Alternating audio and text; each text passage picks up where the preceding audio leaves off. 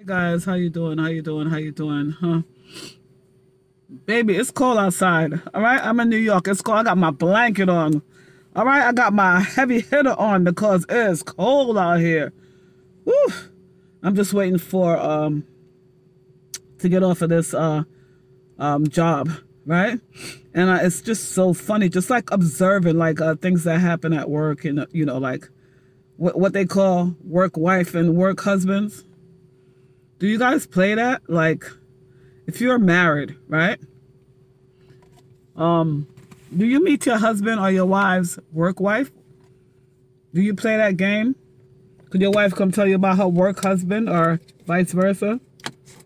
When you guys go to the office party, like how Christmas is coming up and they doing their little office party and stuff, do you uh, introduce your wife or your husband to your work husband and wives? There's a lot of things going on on these jobs, honey. And these work wives and husbands, they take that uh, role very seriously. You want to send you want to send them I bring lunch, them I bring snack. They practically feeding your real husband and wives at work. It's crazy out here. you guys play that? Basically, is a side chick at work, honey. All right? But you don't know because they don't tell you that. You think it's just a nice little friendship while they smile up in your face and play these games. I really don't play those games. You can feel it all in their energy because they can't hide it because they're supposed to be connected. it's a lot of work wives and husband. I just a, it's, it's a, I don't want to say it's a new term. It's a new terminology, but it's been going on for a while. But now they think it's like because uh, society give them to go to go go ahead and cheat and the Jezebel spirit all over the place. They just outright doing it. They don't even have no shame. They just do it outright in the public. They really act like the wife or the husband at work. It's just insane. Anyway, so this is just a quick video, guys. I'm warming up to get out of here, New York. Let me tell you how cold it is. It's 37 degrees outside right now. So we are we bungle up. I think it's going to be a very, very cold winter. Yeah, very, very cold.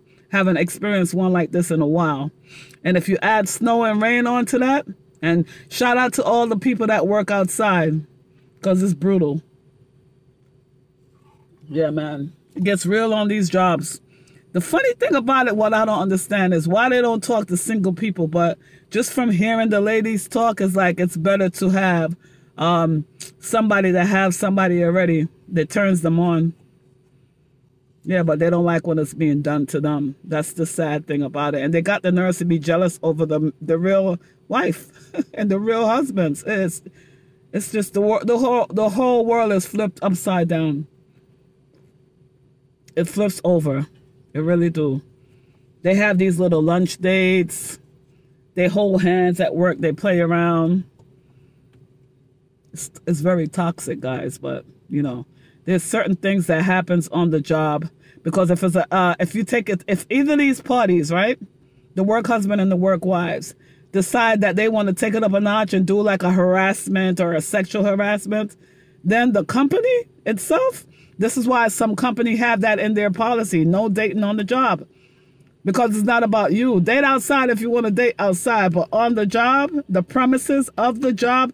And do you know, like, when you date outside, even when you go to lunch on the outside, is still considered like on the job because you guys work for the same party? This is why I keep telling you guys, know your law, know your rights on the job. Because you go there, you take your vagina, you take your penis on these jobs, and it could be a very big lawsuit for the company itself.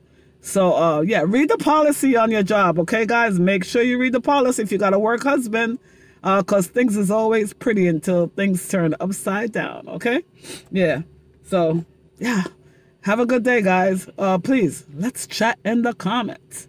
All right? Do you have a work husband? Do you have a work wives? And husband and wives, are you telling your spouse about this uh, situation you got going on at work? I'm sure you twist the story. All right? Talk to you guys later. Leave it in the comments. Thank you. Subscribe.